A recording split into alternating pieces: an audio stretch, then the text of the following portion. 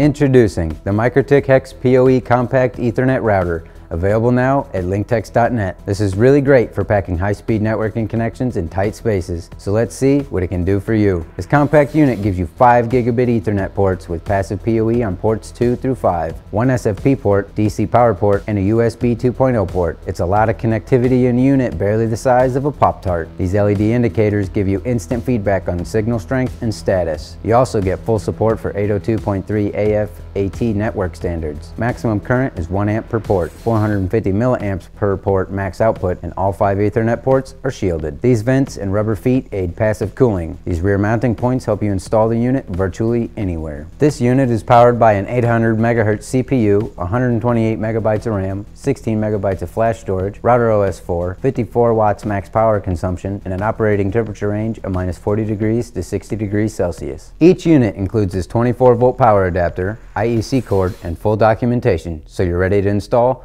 right out of the box. Compact, fast performing, fully featured, easily adapted to your needs, built to last for years, and extremely affordable. This compact router solves a lot of problems at a very low cost.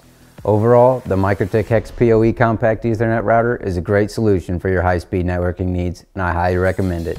To learn more or to get one for yourself, give us a call at 314-735-0270 or visit linktechs.net. Thanks for watching, keep moving those packets, and have yourself a great day.